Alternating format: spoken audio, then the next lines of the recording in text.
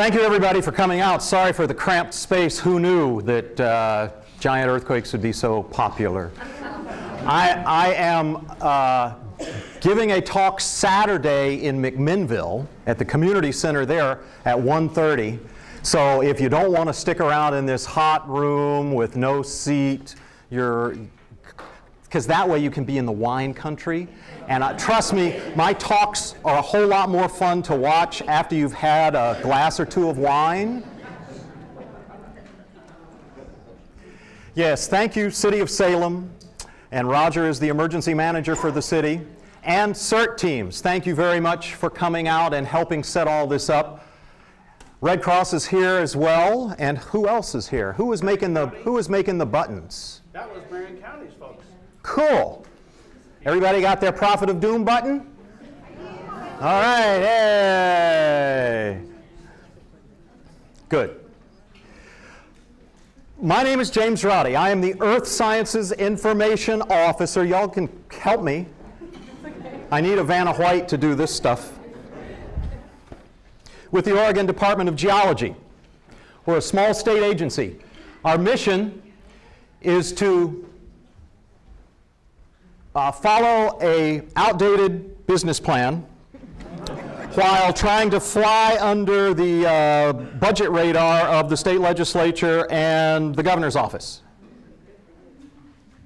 That's a joke. Any legislators here tonight? Oh, good. All right. So I can get away with saying that. And since I'm a state employee and it's after 5 o'clock, I have to take a break in about 15 minutes, if you don't mind, okay? Don't want to don't want to be charging you guys with, you know, more tax dollars. We're a small state agency. We are tasked with identifying and characterizing natural hazards in the state of Oregon. Landslides, coastal erosion, flooding, volcanic eruptions, that one's pretty easy to figure out uh, earthquakes, tsunamis, disasters are us. Um, and we have some incredible tools that we're using now. Laser-based terrain mapping for finding landslides. And it actually strips away all the vegetation using a computer program once you have this incredible data. And we can see things we've never seen before, including hundreds and hundreds, if not thousands, of landslides in any given area. So um, the technology is really amazing. And then we work with communities to help mitigate for things like landslides or flooding, or work with communities like this tsunami outreach program that uh, Althea Turner, Al Althea Rizzo, with Oregon Emergency Management and I uh, work on at the coast. She just got married six months ago? A year ago. A year ago, okay. Well, my, how time flies work with communities to help them get ready for the big one. Now, tonight I'm going to talk about what Native American myths, ghost forests, and surfing elephants can teach us about great Cascadia earthquakes. And yes, you will get to see elephants surf. And if you're not familiar, how, how, many of you know a little bit about Cascadia, Great Cascadia earthquakes? Oh man, there are lots of folks here that are going to have a lot of fun with this then. Because if you're not familiar with Great Cascadia earthquakes, by the time I get done with you, you are going to run home, grab the tinfoil, and make your little hats, right? And by the way, 2012 is just around the corner. So keep that in mind. We live in one of the most beautiful places on earth. We are some pretty lucky folks to live here in Oregon. Um, the coastline, an amazing place. I spend a lot of time there where the North American continent meets the largest ocean in the world. But everywhere you go in Oregon, eastern Oregon, out to the Wallowas and the Steens, um, up into the, the, the Coast Range and the Cascades, just beautiful, beautiful places what has created this beautiful, dynamic landscape is geologic processes. And what comes along with creating these incredibly beautiful landscapes, these geologic processes, it also creates some pretty serious natural hazards. So, folks at the coast just a couple of years ago went through a hurricane. They had 160 mile an hour winds. They had sustained winds for three days. This is in December of 2007. This was basically a hurricane. They called it a tropical cyclone. The name, the official name from the National Weather Service was the Great Gale.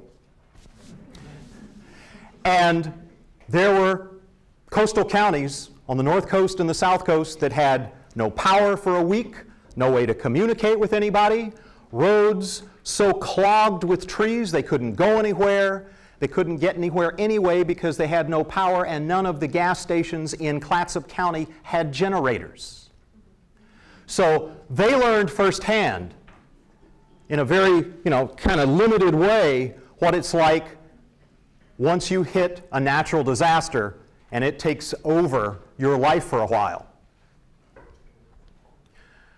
The Columbia Gorge is another place that I just love to visit and play at. It's also seen a couple of the biggest geologic events in the Earth's history. About 15 million years ago, lava flows from the border of what is today Idaho and Oregon and Washington flowed out, covered almost 200,000 square miles. In fact, some of those big sea stacks you see at the coast are from those lava flows that traveled 400 miles to the coast over millions and millions of years. Some places as much as three or four miles thick of lava. And the other is about 15,000 years ago, the Missoula floods, one of the largest floods in the history of the world during the last ice age. A ice dam, the ice sheet comes down from Canada, blocks a river over in Montana, creates an ice dam that's 2,000 feet high blocks the river for years and years, it creates a lake that's the equivalent of two Great Lakes. And it overtops the ice dam, breaks it, the water roars through Montana, through Idaho, into eastern Washington, what's now called the Channel Scablands or the Palouse, and down into the Columbia. If you were standing at Vista House when this happened, 15,000 years ago, and there certainly may have been Native Americans that witnessed this. Vista House is 600 feet above the river. The water would have been 200 feet over your head at Vista House. An 800 foot wall of water as it came down, when it got to Portland, where Portland is today, it got constricted and it actually split. Some of it continued on to the Pacific, but a whole big portion of the water rolling and tumbling headed up the Willamette all the way to Eugene, pooled in the Willamette 400 feet deep, and then turned around and went out. This didn't happen just one time. This happened over and over, over a few thousand years. And scientists today think this may have happened as many as 80 or 90 times. Huge, massive, 800 foot walls of water coming down the Columbia. Geology is so cool. One of the reasons the Willamette is one of the best places in the world to grow, tops, uh, to grow crops is we have all of Montana's topsoil. Pretty amazing. And this is out near McMinnville. This is called an erratic. This is a granite boulder from Montana. That's what was being carried in the flood. Giant chunks of ice with giant boulders wrapped up in it. Pretty amazing stuff. But once again, these geologic forces, now that we have humans here, can cause some pretty serious natural disasters. And this is Vernonia in 2007. 80% of the town underwater. Just 7,000 years ago, the largest mountain in Oregon blew its top, Mount Mazama. And I mean by top, I mean the top mile of the mountain was blown up into the air in a cataclysmic explosion. We know it today as Crater Lake. Right, just 7,000 years ago. And there were Native Americans that saw that happen as well. In fact, we tend to forget we live within an active volcanic, volcanic mountain range. We get reminded about that every now and then. But you know what? Over the last 4,000 years, there have been 57 major eruptions in the Cascades. That's more than a couple of times a century. And if the last one was 1980, there is certainly a possibility that we will see another volcanic eruption, maybe in our lifetimes. In fact, if you count Mount St. Helens, about half of these major volcanic eruptions have happened in Oregon, if you stretch the border up to include Mount St. Helens. Well, the Oregon Territory, how about that? So, we're lucky on May, was it 18th, May 18th or so, in 1980 that the wind was blowing the wrong direction, or else it would have been a natural disaster for us here in the Willamette Valley. This process of this dynamic landscape and these big natural disasters and this beautiful, beautiful landscape is all driven by plate tectonics. It's what my geology professor called the dance of the continents. The Earth is broken up into plates, rafts, and these rafts, these plates, are in constant motion. The North American continent is moving at about an inch a year to the west. The Pacific plate is moving in a whole bunch of other different areas. And where the Pacific plate comes in contact with North America and South America and Asia and Australia, it creates what's called the Ring of Fire. Because this is where most of the major volcanic eruptions and large earthquakes happen anywhere in the world, is along the Pacific Rim. This is the most powerful process on Earth. We have, yeah, there we are. Well, you wouldn't know, would you? We have sitting off the Pacific Northwest coast, off the coast of Northern California, stretching all the way up to southern British Columbia, a remnant of a very ancient plate that's been diving under North America for 150 million years called the Juan de Fuca plate. It's actually started to break up into other little tiny plates. It has the potential where the Juan de Fuca plate and the North American plate come together to create the largest earthquakes on Earth. We've just witnessed in just three months ago, as we go back around the Pacific Rim to Japan. Japan experiences up to 300 earthquakes a day. Yes, one of the most active places on Earth. It's where four tectonic plates come together. The Pacific plate pushing against the North American plate and the Eurasian plate, the Philippine plate doing the same. And on March 11th, they experienced a magnitude 9 earthquake.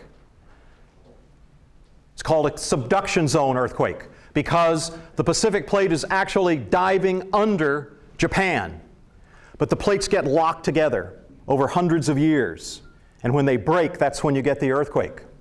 Subduction zone earthquakes are the largest earthquakes that can happen anywhere in the world. Every time there is a subduction zone earthquake, 1964, the Alaskan earthquake, 2004, the Sumatran earthquake, a magnitude 9, the Chilean earthquake, last year, a magnitude 8.8, and this earthquake, the Japanese earthquake, a magnitude 9. Every time there is one of these types of earthquakes anywhere in the world, it shifts the North Pole. This one shifted the North Pole by four inches. It slows the Earth's rotation and it changes the shape of the Earth. The Earth gets a little bit flatter on the poles. Because what happens, these two plates are pushing against each other, the stress becomes too great, they break apart, the whole island of Honshu in Japan moved as much as 6 to 18 feet. That much mass changes the Earth's rotation because now you've moved a huge mass and the Earth starts to wobble a little bit and has to get back to its regular rotation. So these are huge, huge earthquakes hundreds of thousands of times larger than, say, the bomb that was dropped on Hiroshima. The Haitian earthquake, magnitude 7 last year as well. This earthquake was over a thousand times larger than the Haitian earthquake. It would take a thousand magnitude 7 earthquakes to equal a magnitude 9 earthquake. It would take a thousand mag. Are you taking notes? Yeah. Note. Oh, oh no. it would take a thousand magnitude seven earthquakes to equal one magnitude nine earthquake. The Japanese have lived on those islands for over 30,000 years. They have lived through a lot of earthquakes.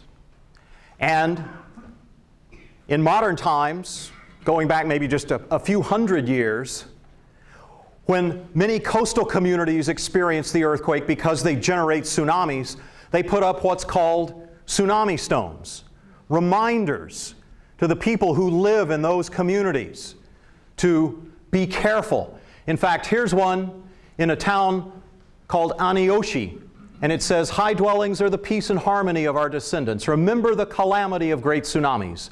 Do not build homes below this point.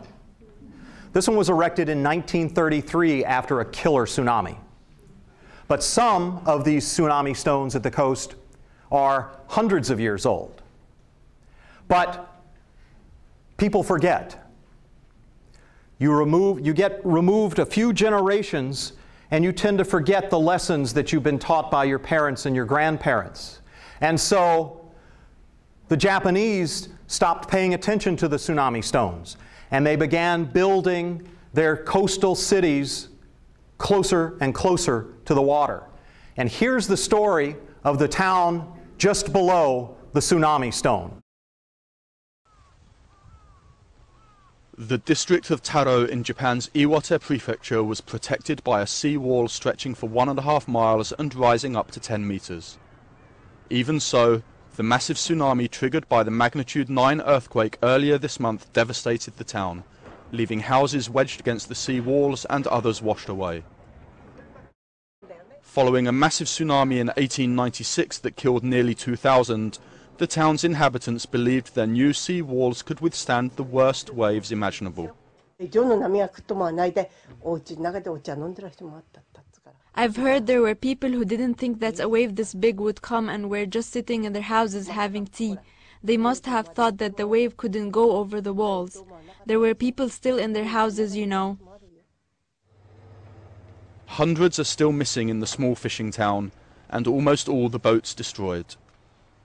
Fujisawa worries the town may never recover, as it consists mainly of elderly people and the cost to rebuild will be enormous. The earthquake and tsunami left at least 28,000 people dead or missing across northeastern towns and cities. About a quarter of a million people are living in shelters, and the total damage caused could top 300 billion US dollars, making it the world's costliest natural disaster.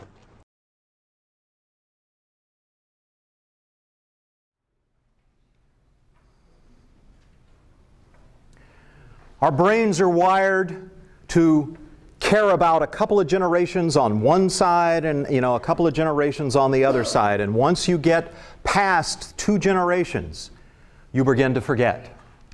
And that's what we saw happen in Japan. In fact here's one of the tsunami stones.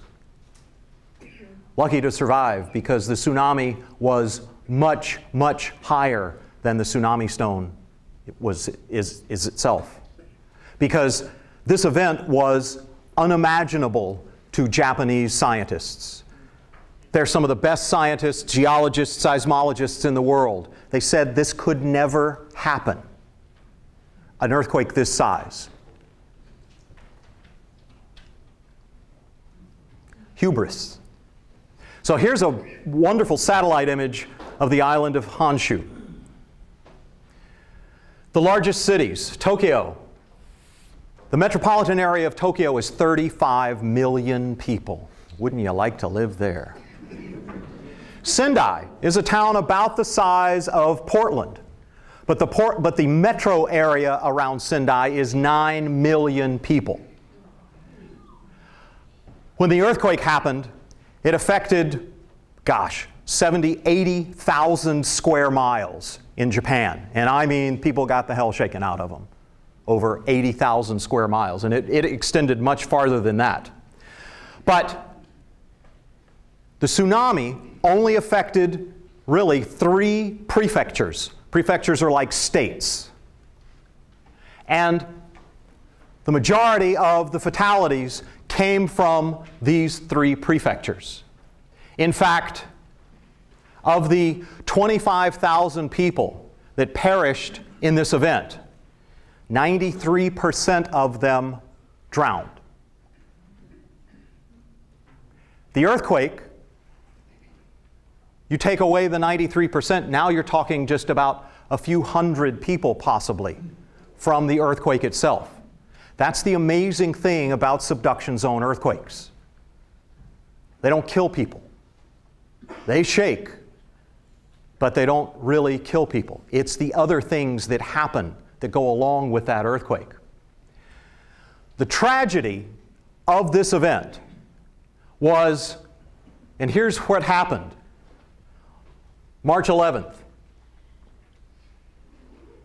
A 300 mile long chunk of the seafloor was ripped apart as these two plates pulled each other apart the, the, the, Asian plate, the North American plate, and the Pacific plate. We were talking about that, uh, this this morning in the office, and the seafloor was offset by as much as 120 feet. And by offset, I mean ripped apart, and that's what caused the tsunami. The tragedy of the 25,000 fatalities in this event was not only that they didn't think it could happen, and it did, but in 1896, in pretty much the exact same spot, they got a magnitude 8.5 earthquake that killed 22,000 people from the tsunami in the same place.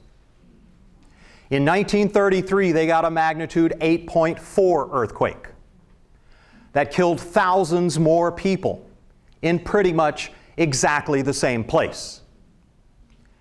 And if you look up at the top of the screen, the island of Hokkaido, which is just north of Honshu, in 1952, in 1963, in 1968, and in 1969, they got magnitude 8 plus earthquakes that generated tsunamis there.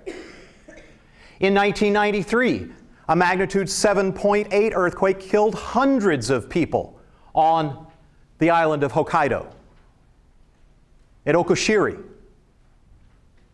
And yet, people didn't know what to do when the ground shook at the Japanese coast. And they are the best prepared place on earth for earthquakes and tsunamis. because they weren't prepared for an event like this. The response took much longer than it should have.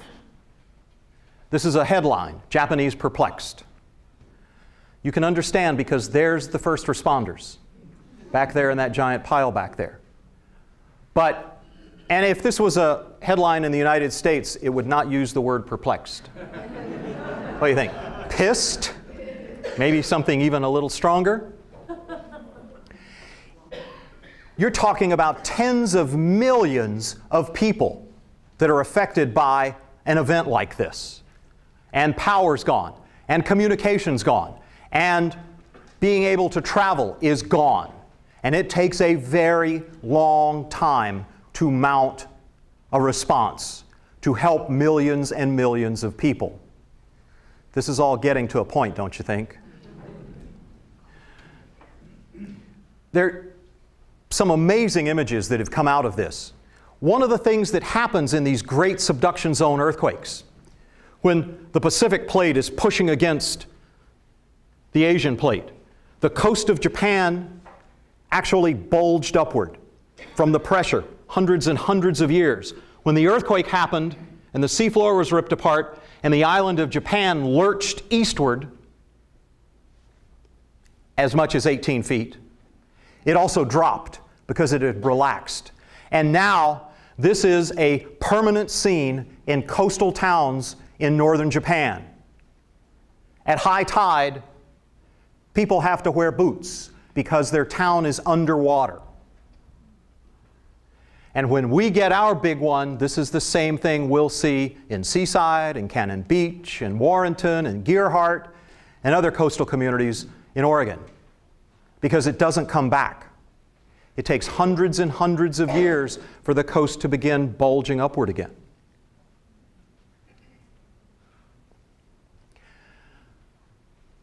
The earthquake lasted in some places six minutes, 20 miles deep. And as I said, out of the 15,281 fatalities, 93% of those were from the tsunami. The people that lived in this area of Japan were elderly as well. And so, of the fatalities, 63% were 60 plus years in age. 190,000 buildings damaged or destroyed, and most of the buildings, once again, are in the areas that were ravaged by the tsunami. Outside of the tsunami zone, their building codes in Japan protected their buildings for the most part. 25 million tons of rubble. They expect it may take five or six or even 10 years to remove that much rubble. Where, you, where do you put all of that? It's just staggering. And they're building 72,000 new homes. The people around the Fukushima Daiichi nuclear power plant, they evacuated 80,000 people that will never be able to go home.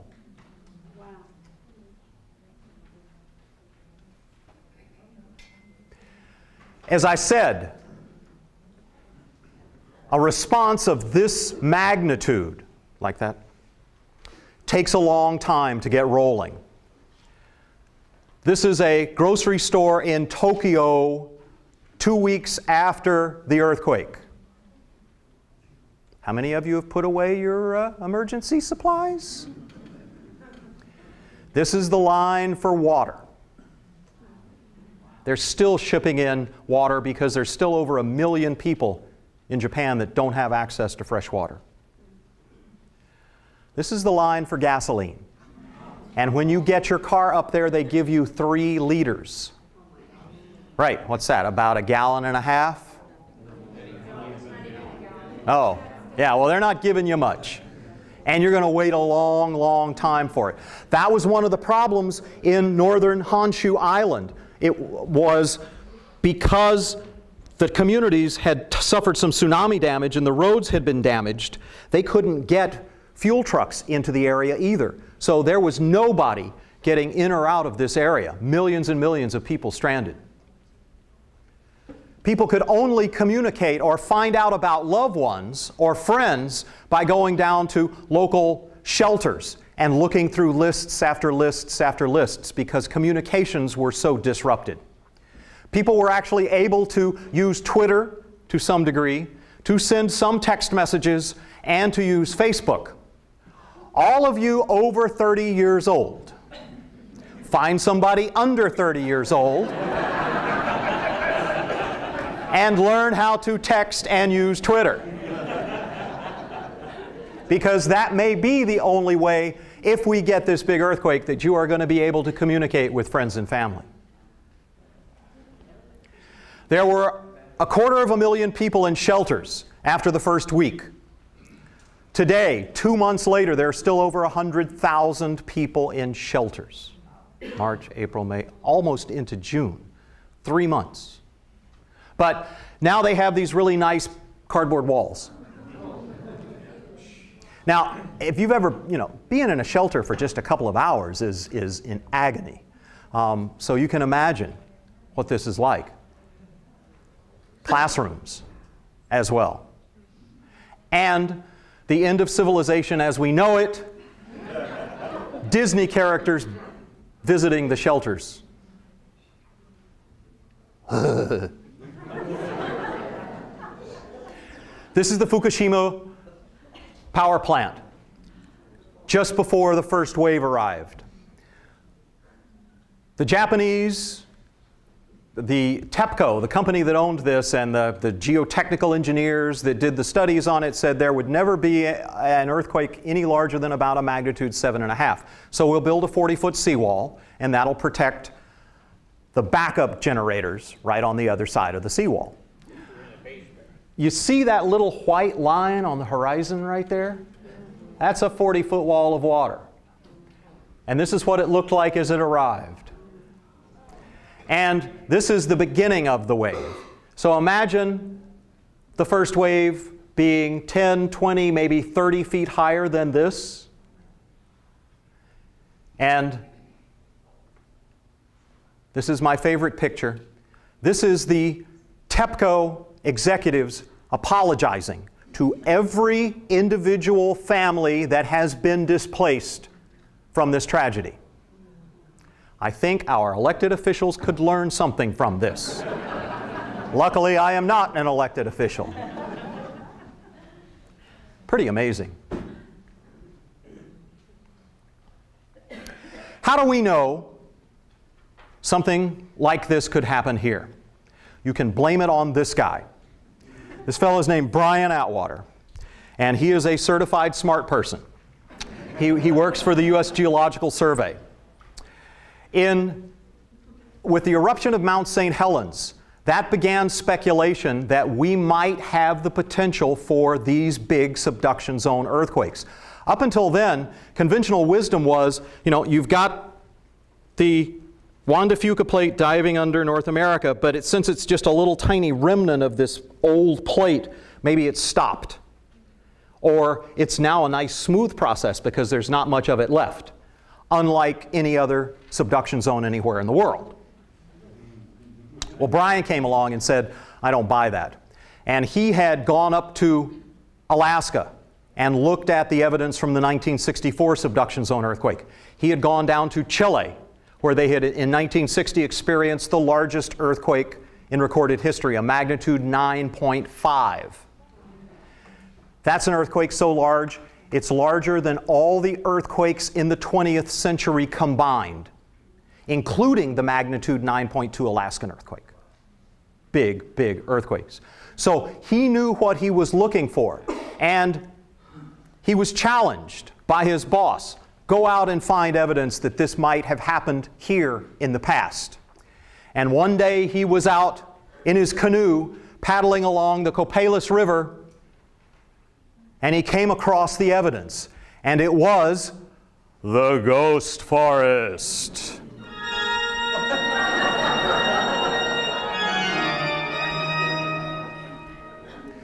A western red cedar forest.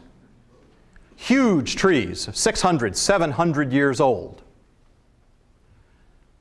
Growing very happy off near the coast.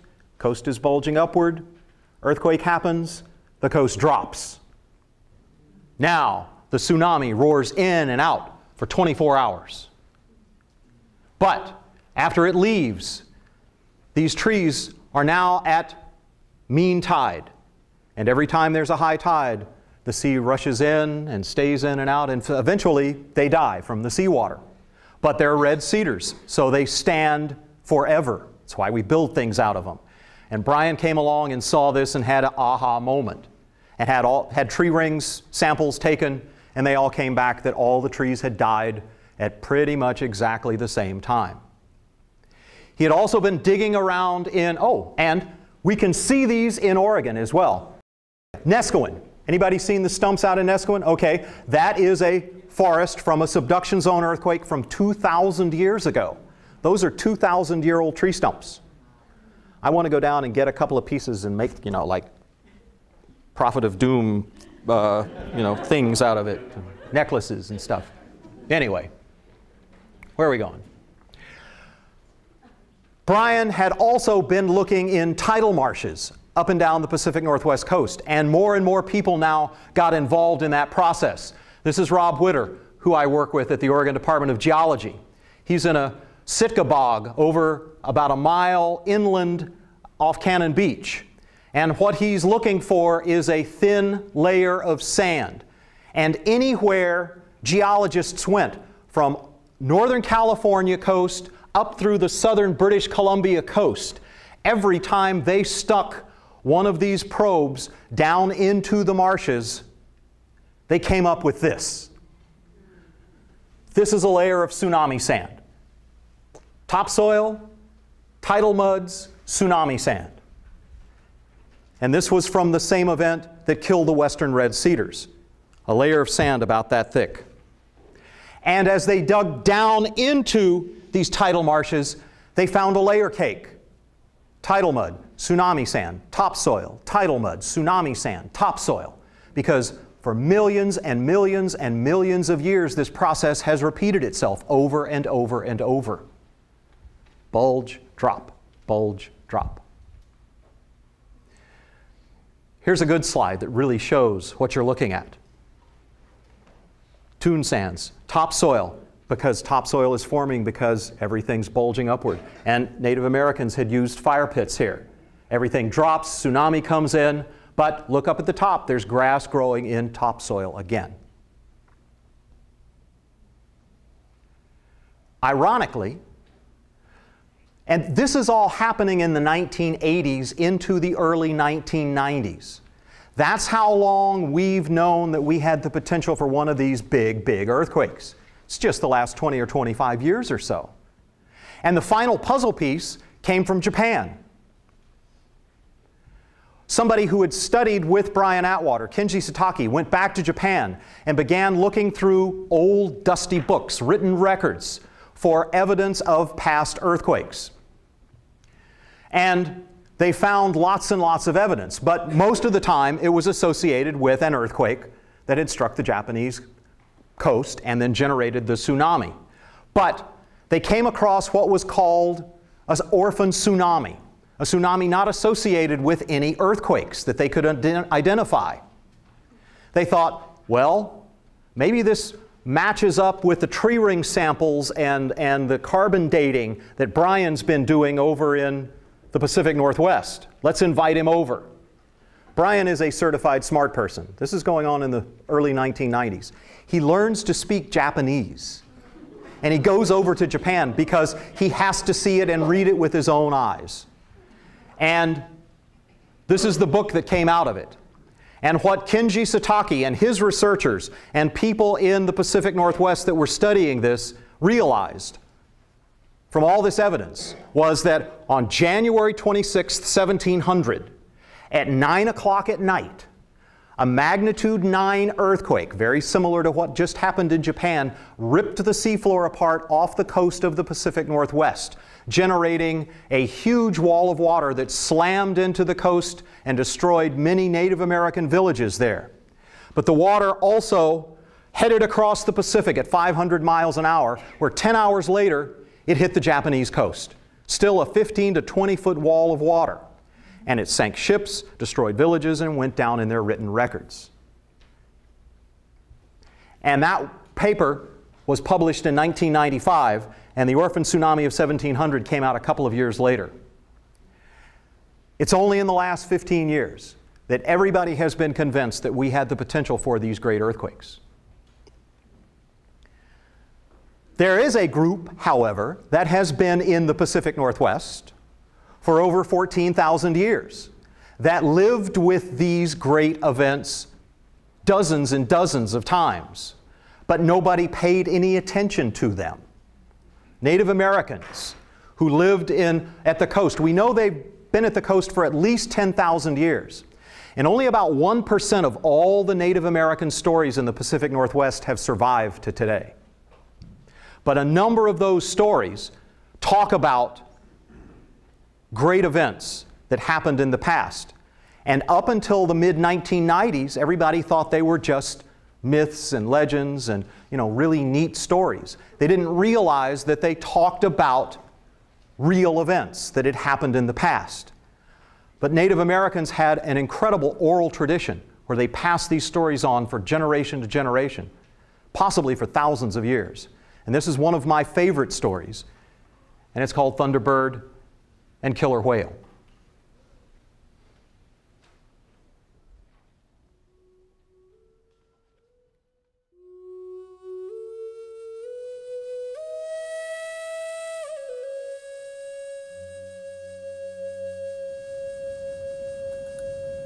Thunderbird kept a watchful eye upon the tribes that honored him even snatching whales from the ocean to help feed the people in times of need. Underneath its wings were lightning snakes that flashed with fire. When Thunderbird beat his wings, thunder boomed across the landscape. At the time of the Great Flood, Thunderbird fought a terrible battle with Killer Whale, who was starving the people by killing other whales and depriving the people of meat and oil.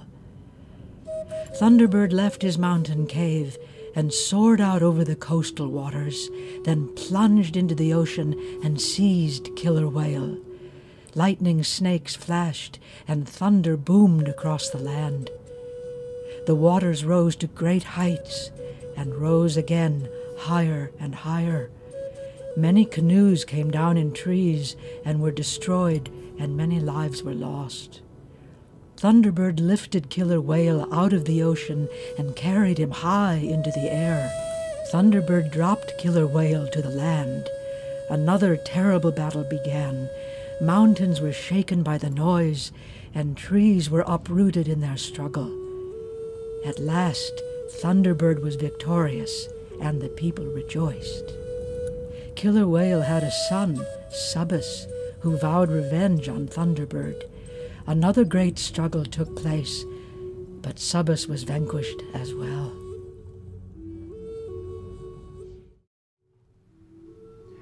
In this context, it's easy to see that this is a story about earthquakes and tsunamis. But once again, only in about the last 15 years have we begun to identify many, many Native American stories associated with great earthquakes and tsunamis. Anybody know who Subus was in this story? If Thunderbird and Killer Whale were the earthquake and the tsunami, who was Subus? He was the aftershocks because he was a little bit smaller and easier to defeat. Pretty neat story. Here's what's going on off the Pacific Northwest coast. And here we are again. Yes, I think that's still pointing to Portland. Yeah, well, you get the idea. Here's, here's the little tiny remnant of the ancient plate, the Juan de Fuca plate, as North America moves west. And you can see the Pacific plate doing all kinds of weird stuff. And I'll spend a couple of hours going over this for you. Um, in Oregon, we don't get a lot of earthquakes. We live in a quiet zone sandwiched between Washington and California. Washington actually gets six times more earthquakes than we do in Oregon. These are the largest earthquakes in recorded history. Scotts Mills in 93, which I'm sure everybody that was living here felt. Nice big kind of ka-chunk. Magnitude 5.6 did $30 million worth of damage. We are so not ready for any earthquakes here. The Klamath Falls earthquakes that same year, a couple of magnitude sixes within a couple of hours of each other. And then in 1936, the Milton Freewater earthquake out at State Line, a magnitude 5.7.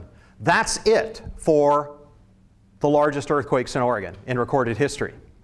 So we don't know how to prepare for earthquakes. If we lived in, how many of you have lived in California? And know how to prepare for earthquakes, I would imagine, right? If you lived in the San Francisco area, Los Angeles, or many areas around California, because they happen all the time, and you get used to them even. Here, a 5.6 is a really big deal. Where the two plates come together, that's the continental shelf. That's also a 600 plus mile long earthquake fault. And it's a subduction zone. It's where the Juan de Fuca plate is diving under North America. Subduction zone earthquakes are much different than California earthquakes. California will never get an earthquake this big. Impossible. Because California earthquakes have epicenters where pretty much the energy from the earthquake kind of radiates out from the center. When a subduction zone earthquake happens, it rips the whole 600 mile long earthquake fault apart. And if it happens like many scientists think, it might start in the south and then move at a mile a second. And if it's a 600 mile long earthquake fault, it takes a long time to rip apart, moving a mile a second. Sometimes only parts of the subduction zone rip apart, though. So you only get magnitude 8.8s or so. Yeah. That's, that's significant though. Here's what it looks like with this nifty animation. So here we are in Oregon. We're going to dive under the ocean and then go down about six to 10 miles where the Juan de Fuca plate and the North American plate are grinding against each other. The edge of the North American plate is actually being pulled down with the Juan de Fuca plate. The pressure over hundreds of years becomes too great and the plates slip apart. North America will move as much as 15 or 20 feet to the west. Back up on land, here comes the primary wave. That's the first jolt you feel. And then here come the surface waves. Those are the waves that do the damage. With subduction zone earthquakes, you get long period earthquake waves. And I mean, you'll be able to see the waves if you're outside or in a building. You will see walls dancing. You will see the ground undulating. And because it's ripped the seafloor apart, it generates the tsunami. For minutes and minutes and minutes, this earthquake lasts. But it's long period earthquake waves, and we'll talk about that. We know that our subduction zone can generate up to and larger than magnitude 9 earthquakes. We know that Cascadia subduction zone earthquakes last a long time.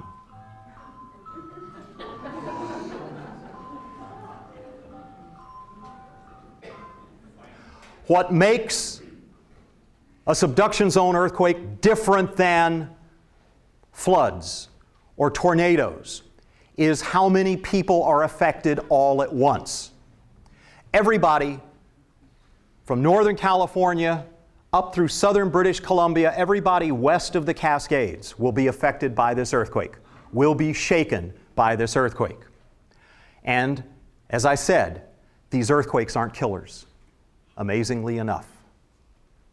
It's long period earthquake waves.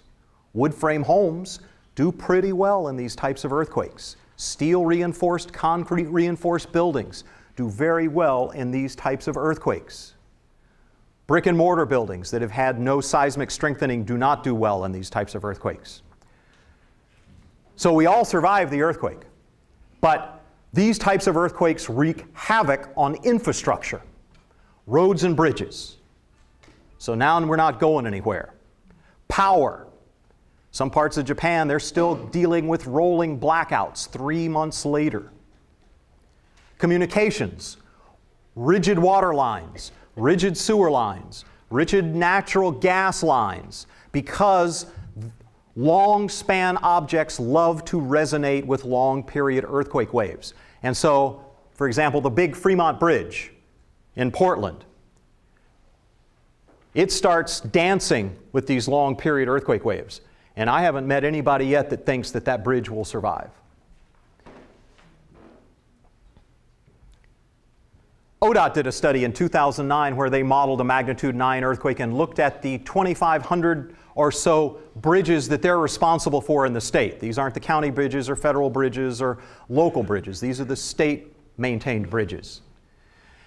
They found that about half of the bridges that they are responsible for would take one sort of damage or other, with the majority of damage taking place at the coast.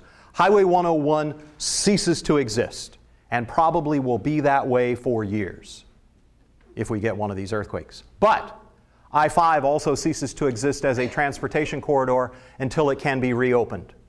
Heavy equipment brought in to reopen it, to get the overpasses out of the way and bypasses. I 84, same thing. There'll be dozens and dozens of landslides in the Columbia Gorge shutting down I 84. All the roads across the Coast Range are expected to suffer some sort of damage or other and be closed, as well as the Cascades. So now, here we are in Oregon, west of the Cascades, we are isolated from the rest of the United States. And it's going to take a while to mount a response. And they're not only coming to Western Oregon, the people in the white hats, they're coming to Western Washington, they're coming to Western Southern British Columbia, they're coming to western northern California as well. 13 million people will need help. And what we saw in Japan will be what we see here. Once again, everybody will survive the earthquake for the most part. It's dealing with the aftermath of the earthquake that becomes difficult. That's why we do things like this and emergency plans and kits and stuff. What is this? Ah, there we go. What we saw in Japan really wasn't typical of the type of damage that we would expect to see here in the Pacific Northwest and in Oregon. What happened in Chile last year is a much better example where a magnitude 8.8 earthquake, it lasted 90 seconds. That's the difference between a magnitude 8.8 and a magnitude 9. A magnitude 9 earthquake is 10 times bigger than the magnitude 8.8. It would take 10 magnitude 8.8 earthquakes to equal a magnitude 9. 15 million people affected, and only 521 fatalities, 400 of those from the earthquake itself. Roads and bridges.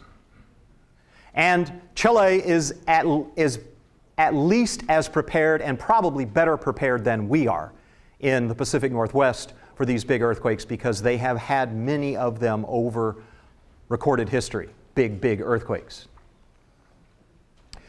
Saw some damage in big buildings, but for the most part, in subduction zone earthquakes, you don't see buildings pancaking. I've just seen a few pictures from Japan, and that's it. This is Santiago International Airport. Think PDX. Closed for a week, not because of runway damage or control tower damage, but because of catastrophic damage inside the terminal itself. Non structural damage. That's what happens inside buildings. That's where most injuries occur. Things fall on you. The joke is take that rock collection you have above your bed, it's a geology joke, and you put it somewhere else where it won't fall on your pointy head when things start shaking. Bookcases bolted to the walls. Easy, simple things. If your water heater's not bolted to the walls and has flexible, doesn't have flexible hoses, easy things to work on. Non structural things. First responders couldn't respond because just like you and I, if we get this earthquake, they're going through the earthquake themselves. And they're going to take care of their families first, and they're going to look into their, at their neighbors to make sure they're okay and check on their friends. And heck, they might not even be able to get out of their neighborhood if there are roads and bridges damaged.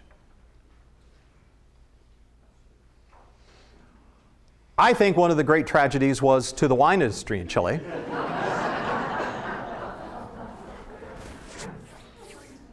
and I can tell you that they are much better prepared, the wine industry in Chile is, for big earthquakes than we are here in Oregon. So, my advice is start stocking up on Pinot. Come down with me on Saturday to the wine country, put, a put aside, you know, four or five nice cases of wine in a nice safe place, and after the earthquake is over, eBay. People will be clamoring for this rare wine. An excellent idea.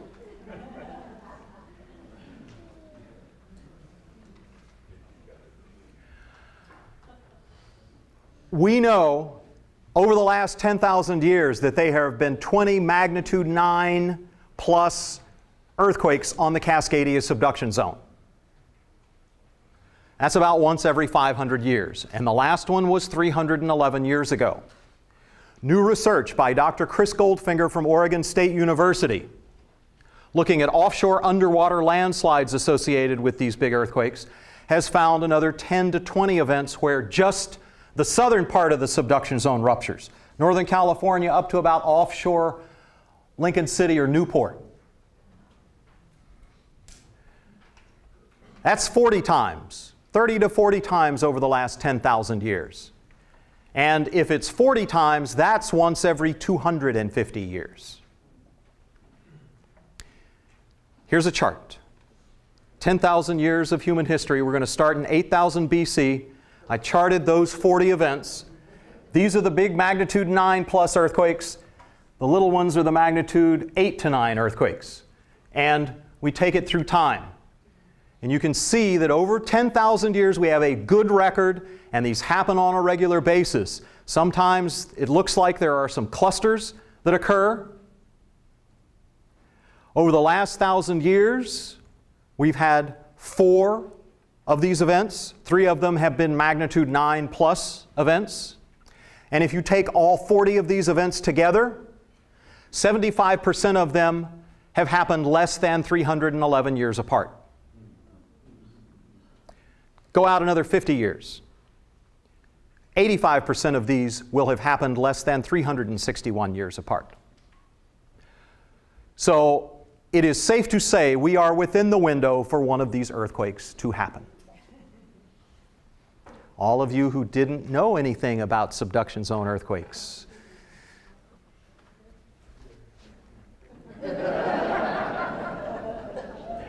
I feel I have a healthy paranoia. All those folks who have taken CERT classes, they also have a, do you know what CERT is? Community Emergency Response Team Training. And we hope that when we take the break, that you're going to go out and talk to the CERT folks and the Red Cross folks and things like that. But I have a healthy paranoia.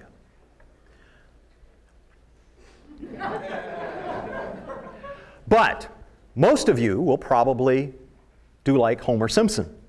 You'll go home, you forget about it because you got a really busy life, right? And the ground starts shaking and you will yell, "Do!" I really should have put that emergency plan in place and put away those supplies and stuff like that. Hopefully that won't happen. And the bottom line is if you don't prepare for this event, you become a victim. And if you don't share this knowledge with your family and work with them on emergency plans and putting supplies away and emergency kits and all that stuff, you force them to become victims as well. And if you're not even sharing this information with your friends and neighbors, they become victims as well. We, you know, since we've only known about this for the last 20 or 25 years, it becomes an obligation for us. One of the reasons I preach this message it is an obligation for us as this first generation to help our friends and family get prepared for an event like this. And this is a worst case scenario. Earthquakes are a high impact, low probability event. You prepare for an event like this, you're ready for the two inches of snow that paralyzes the community. and you're stuck on the interstate for six hours because you got an emergency kit in your car. You're only as prepared, though, as the least prepared family in your neighborhood. Think about it. If we get a big earthquake, what are you going to do? You're going to check on your family, but you're going to go see how your neighbors are. And if they haven't prepared, you're a nice person, you're going to help them. If you forgot to prepare, those neighbors that did are going to come and be nice to you and help you. What we know about earthquakes, regardless of who it is in your neighborhood, 95% of everybody that's helped or rescued is helped or rescued by their neighbors in an earthquake. That's everybody is helped or rescued in an earthquake by your neighbors. Bake some cookies.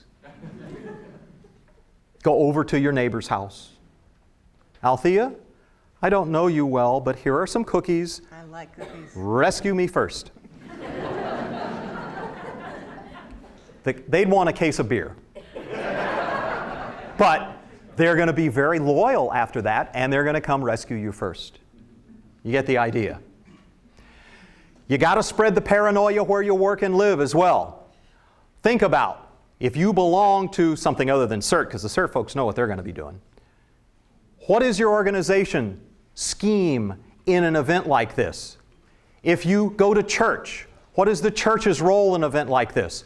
Think about human nature. Where will people go if there hasn't been power for three or four days besides the shelters? They're going to come to the schools, they're going to come to the churches, fire stations, police stations, city halls. How can you, as a Kiwanis or Lions Club or Rotary member, get your organization thinking about and preparing for an event like this? Any organization you belong to, any business that you belong to, what's your plan at your office if something happens and you can't get home to your family? Got a plan? Probably not. What about schools? How, if you've got kids in schools, what's the school's plan to take care of your kids or grandkids if you can't get there for a day or two? That's a question worth asking. Join the obsessed few in your community. And I don't mean the crazy people that stand on the street corners. I mean the CERT folks, the Red Cross folks. There are lots and lots of resources available to you. That's one of the reasons we're having this tonight, is because you can go out and talk to the resources right out there. The Red Cross is a fantastic resource for classes and emergency gear.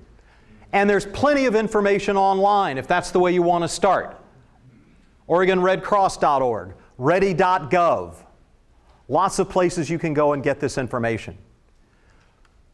But take the first step. That's what you got to do.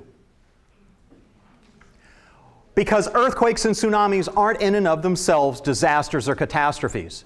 It's the choices that we make that make them into disasters or catastrophes. They're hazards, like a big windstorm, like a wildfire. We also know that disasters are inevitable and they're personal. They happen to you and your family, whether it's a car accident or a house fire, a windstorm that knocks power out for a week, or a giant earthquake. It's happening to you and your family.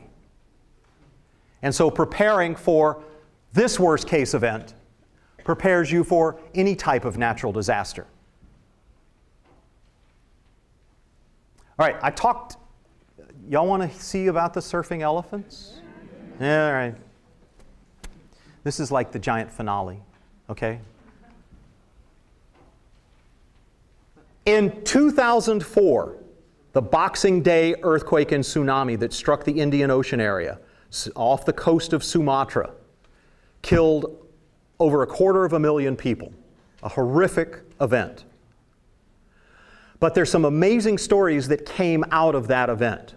One of them was Tilly Smith, the 10 year old girl in Thailand who was at a resort, saw the water go out, and told her parents, and then they grabbed a whole bunch of people and headed up the hill because two weeks earlier she had learned from England that what tsunamis and earthquakes look like. So they headed up. The other story that came out of Thailand was the elephants. Thailand was far enough away from the earthquake epicenter, 600 mile long earthquake fault that ruptured, that they didn't feel the earthquake. And it took the tsunami about two hours to get to Thailand. But just before the tsunami arrived, the working elephants down at the coast got agitated and broke away from their handlers and headed up the hills. This is all in this children's book, Elephants of the Tsunami, a true story.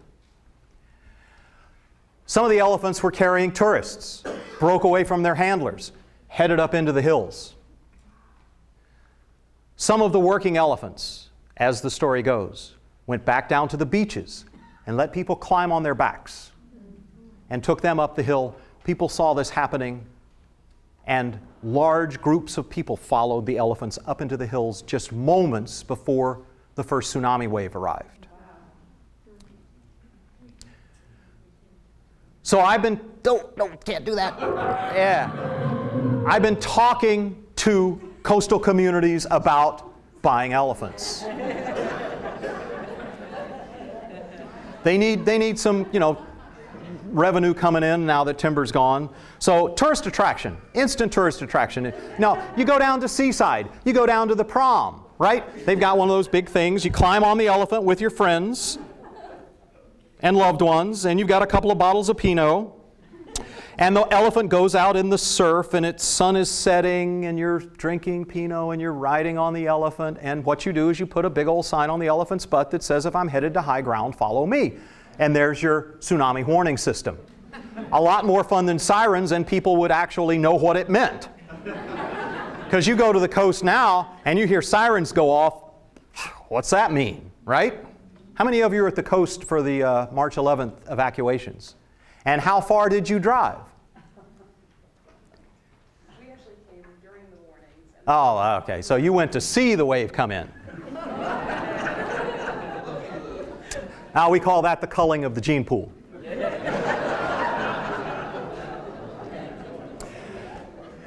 I have been, I, I have been research. You got that, did you? I've been researching a very special breed of elephant, though, that I found that they've been training in Thailand.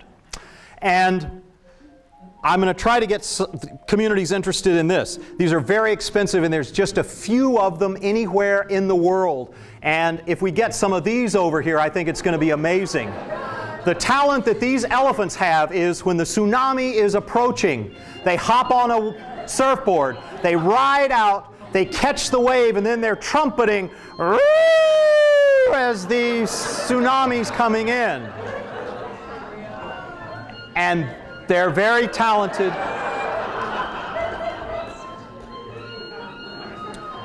And there's your tsunami warning system.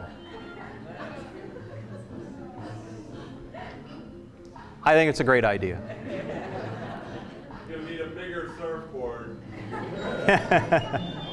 All right.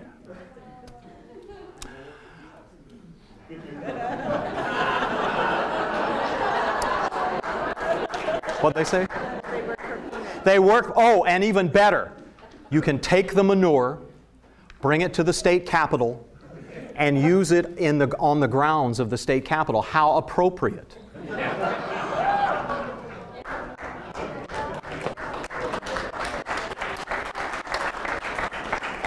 Uh, tough audience. All right, so here's the final question for the night. Are you ready for the big one?